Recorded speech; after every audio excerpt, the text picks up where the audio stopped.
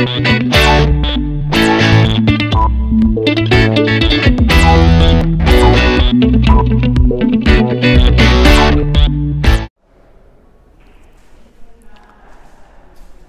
Everyone इस class में हम लोग स्पेशली डिस्कस करेंगे जो हमारा नेक्स्ट टॉपिक है क्लास ट्वेल्थ में। इलेक्ट्रिक पोटेंशियल एनर्जी क्या चीज़ है? इलेक्ट्रिक पोटेंशियल एनर्जी ठीक है? देखते हम लोग उसको हमारे पास है next topic electric potential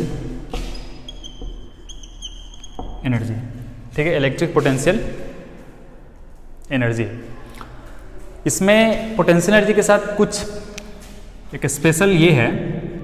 आपने एक क्लास इलेवेंथ में डिस्कस किया होगा ग्रेविटेशनल पोटेंशियल एनर्जी ठीक है ग्रेविटेशनल पोटेंशियल एनर्जी अभी क्या है electric potential energy direct potential energy अगर आपको कहा जाए तो बहुत कुछ समझ में नहीं आता है। ठीक, इसके साथ ही कुछ छुपा होता है। अभी हम लोग देखेंगे कि क्यों ये बात कहा गया है।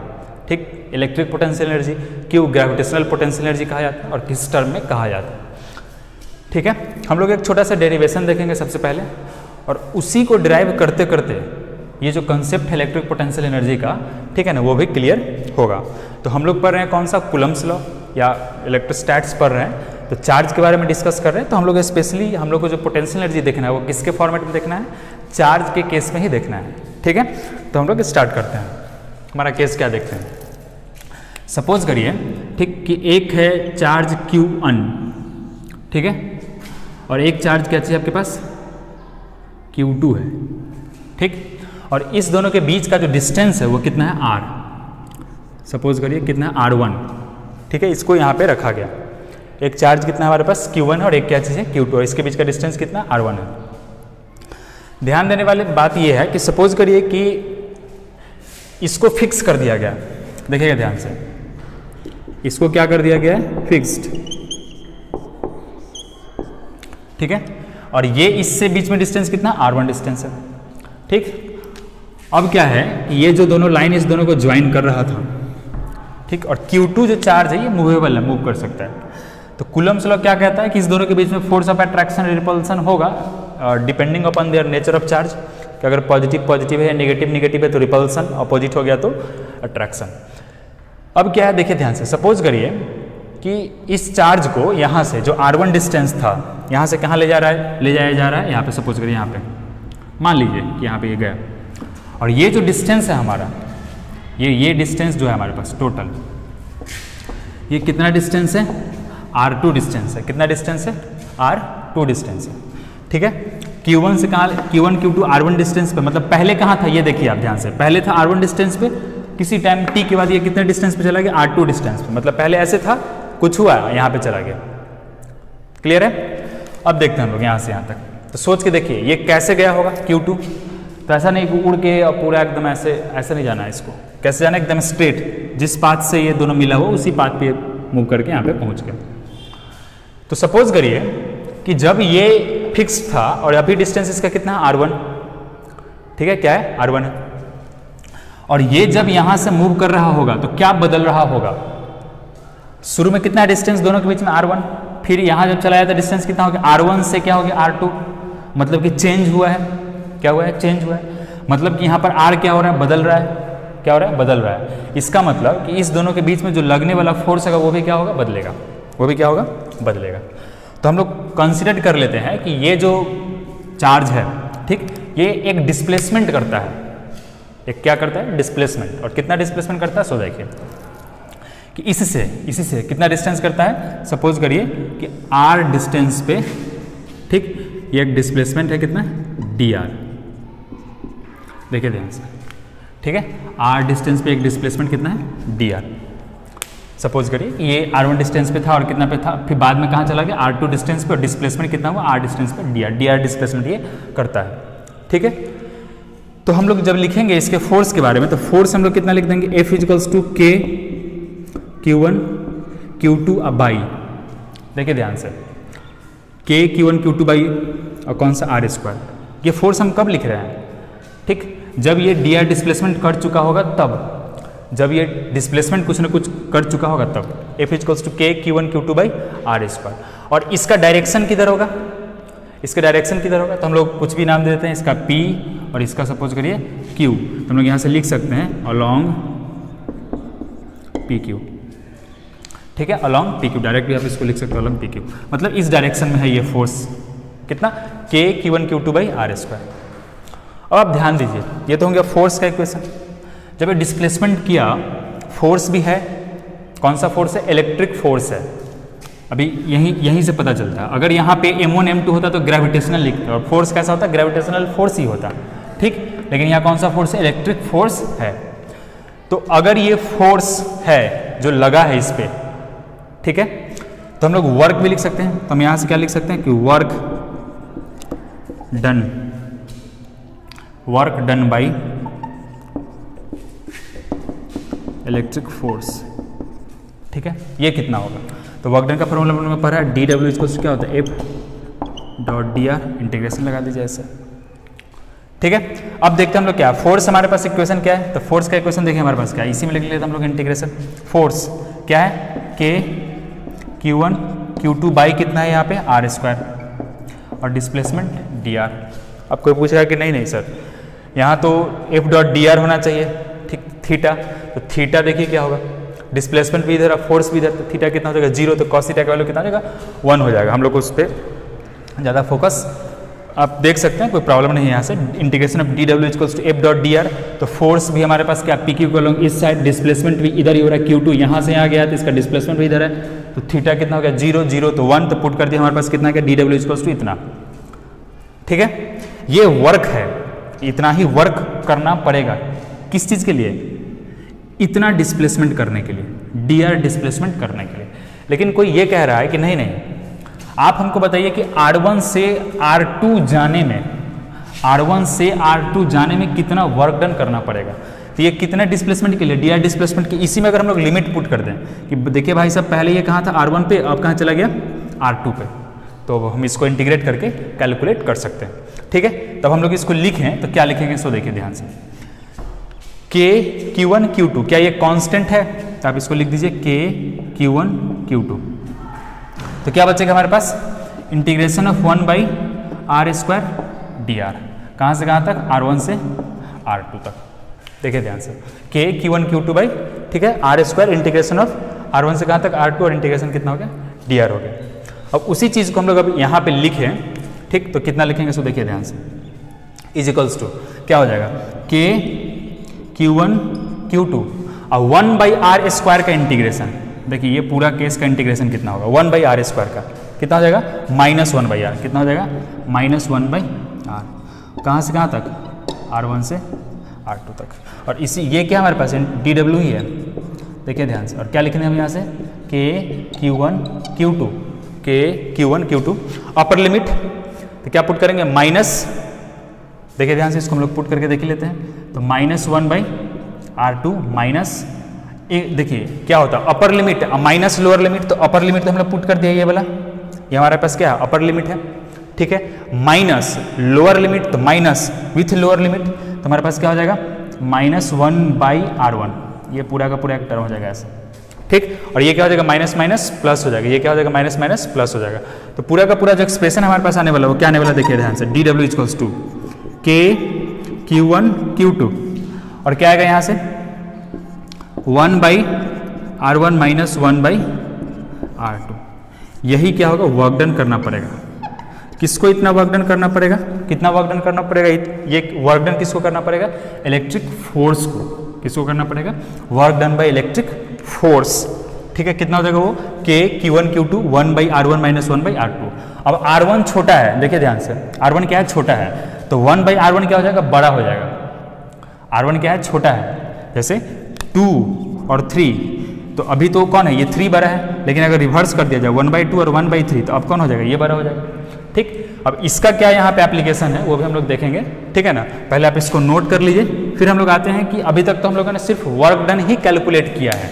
इसमें पोटेंशियल एनर्जी कहाँ पे होगा?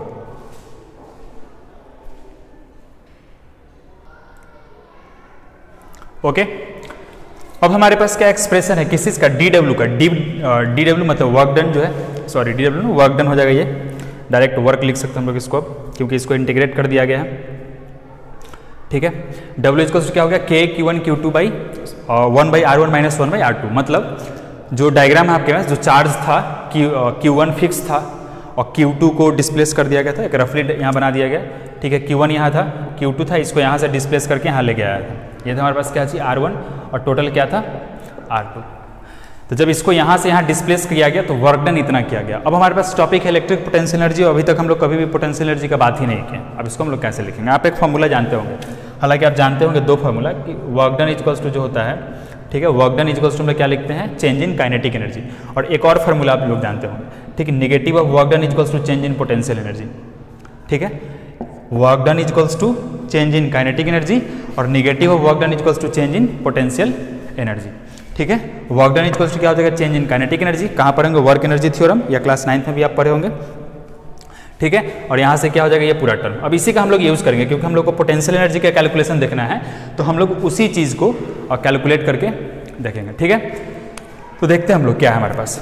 तो जब इसको R1 से डिस्प्लेस करके R2 ले गया गया तो क्या होगा? चेंज इन पोटेंशियल एनर्जी क्या होगा? चेंज इन पोटेंशियल एनर्जी ठीक है? अभी हम लोग उसको भी एक स्टेप छोड़ते हैं पहले। पहले तो हुआ क्या चाहिए वर्क डन क्या हो गया? वर्क डन तो वर्क डन कितना हो गया? डब्ल्यू टू हम लोग लिख लेते हैं यहाँ से। डब्ल्यू टू क्या आ गया? के क्यू वन क्यू टू और यहाँ से क्या one by r one minus one by r two ये चीज़ अब सपोज़ करिए कि हमारे पास पहले से फॉर्मूला है। क्या वो फॉर्मूला देखिएगा ध्यान से क्या है कि चेंज इन पोटेंशियल एनर्जी बराबर क्या होता है? निगेटिव ऑफ़ वर्क डन ये फॉर्मूला है। तो जब हम लोग इसको इस पर अप्लाई करेंगे तो हमको निकालना है क्या? चेंज इन पोटेंशियल एनर्जी और चेंज जो हम लोग लिखते हैं दैट इज़ जैसे सपोज़ करिए कि डेल्टा एक्स लिख रहे हैं तो ये होता है ये एक्स एफ़ माइनस मतलब फाइनल माइनस इनिशियल तो चेंज इन पोटेंशियल एनर्जी है तो इसको हम लोग क्या लिख सकते हैं? कि final potential energy minus initial potential energy क्या लिख सकते हैं? फाइनल पोटेंशियल एनर्जी माइनस किसका फाइनल पोटेंशियल एनर्जी किसका फाइनल पोटेंशियल एनर्जी जैसे सपोज़ करिए कि अर्थ था, यहाँ से हम लोग एक बॉल को उठा के ले जाते थे हाइट पे एम लिखते थे। और बोलते थे कि पोटेंशियल एनर्जी कितना हो गया? एमजीएच है। तो किसका पोटेंशियल एनर्जी इस पूरे सिस्टम का अर्थ प्लस बॉल दोनों पूरे सिस्टम का पोटेंशियल एनर्जी का हम लोग बात करते हैं। तो यहाँ पर भी जब हम लोग बात करेंगे तो Q1 को जब R1 से डिस्प्लेस करके R2 पे ले गया गया तो वो जो वर्क डन आप कर रहे हो, किस चीज़ में बदलेगा? पोटेंशियल एनर्जी में बदलेगा। और किसके पोटेंशियल एनर्जी में बदल जाएगा? तो Q1 Q2 ये जो पूरा कंप्लीट कॉम्बिनेशन है, उसके पोटेंशियल एनर्जी में बदलेगा। ठीक है? तब हम लोग क्या लिखेंगे यहाँ से? U final minus U initial अच्छा इसको हम लोग इस तरीके से भी लिख सकते हैं। फाइनल मतलब कहाँ ले गए इसको? R2 पे। ठीक है? और माइनस यू R1 पे। ऐसा लिख सकते हैं हम लोग। ठीक है? अब देखिए ध्यान से। अब बस कुछ नहीं करना है। यह है change in potential energy change in potential energy है। ठीक? ये क्या है? निगेटिव वर्क डन तो लिखिए माइनस ऑफ़ वर्क डन बराबर। अब सपोज़ करिए इस पूरे टर्म में हमको क्या करना है? माइनस साइन लगा देना है। तो माइनस साइन जैसे हम लोग लगा देंगे यहाँ से। ठीक है? निगेटिव ऑफ़ वर्क डन हमारे पास। यहाँ से क्या आ जाएगा आपके पास? देखिए ध्यान से। ठीक? K q one q two one by r two minus one by r one ठीक? और यहाँ पर हमारे पास क्या है? माइनस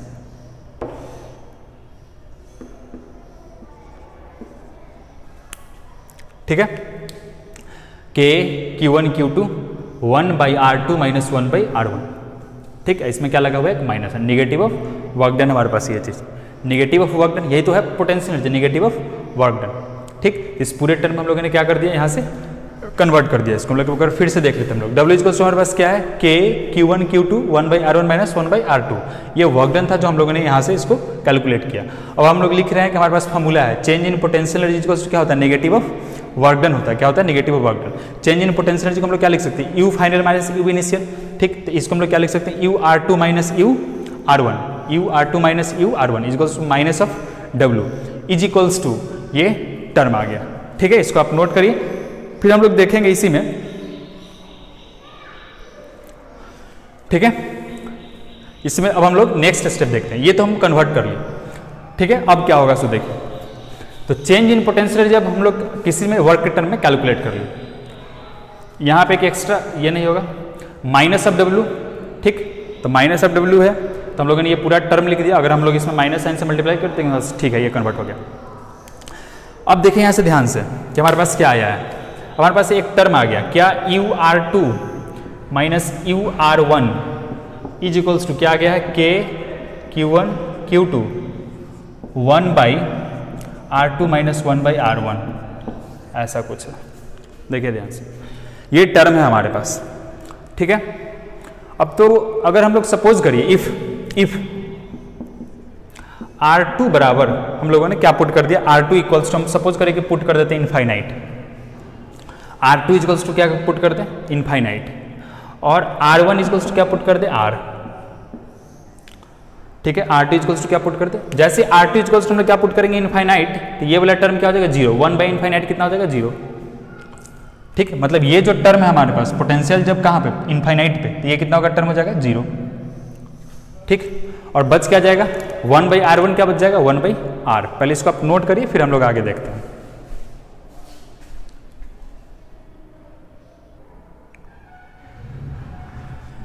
ठीक है? तो अब हम लोगों ने क्या कंसिडर कर लिया? ठीक, कि आर टू कितना हो जाएगा इनफाइनाइट और आर वन इज़ टू कितना हो जाएगा आर अब देखिए इसमें ध्यान से। अगर r two is to infinite हम इसमें पुट कर दें तो ये वाला टर्म क्या आ जाएगा? हमारे पास ज़ीरो लेकिन अब इसमें हम कुछ कंडीशन लगा देते हैं। ठीक है कंडीशन क्या लगाते हैं? ध्यान से देखिए। हमारे पास पहले से प्रेशर पे क्या था? आर वन आर वन से कहाँ गया? आर टू पे। अब हम रिवर्स चलते हैं। कि पहले ही कहाँ था इनफाइनाइट पे?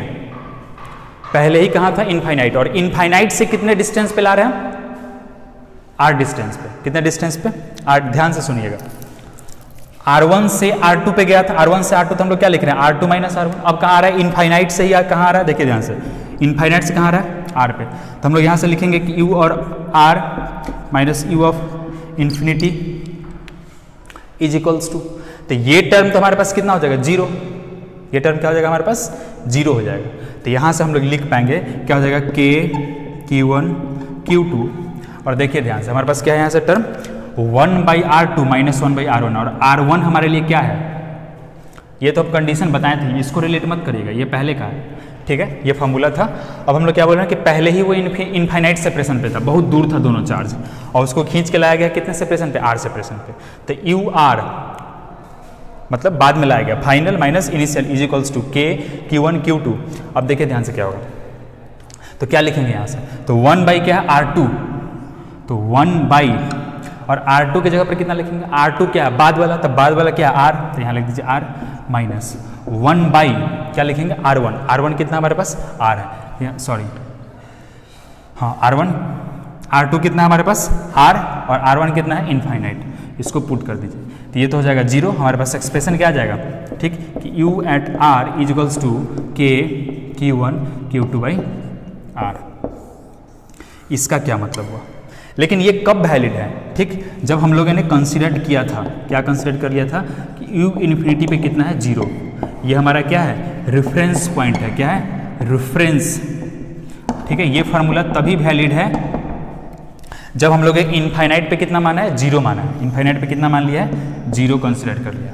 इनफाइनाइट पे कितना कंसिडर किया? ज़ीरो कंसिडर किया। ठीक है? इसका शॉर्ट प्रोसेस है। एकदम स्टेप है, ध्यान रखिए। पहले दो चार्ज आर वन डिस्टेंस पे डिस्प्लेसमेंट करिए फोर्स निकालिए। फोर्स को वर्क डन वर्क डन के बाद उसको कन्वर्ट कर दीजिए पोटेंशियल एनर्जी में, ठीक? पोटेंशियल एनर्जी के बाद आपको क्या पुट कर देना है कि जो इनफाइनाइट सेपरेशन रेफरेंस पॉइंट क्या चूज़ करना है कि इनफाइनाइट सेपरेशन में पोटेंशियल एनर्जी ज़ीरो होता है। इसका मतलब क्या हुआ? ये जो फॉर्मूला आपके पास आया है यहाँ से, ठीक है? इसका क्या मतलब हुआ?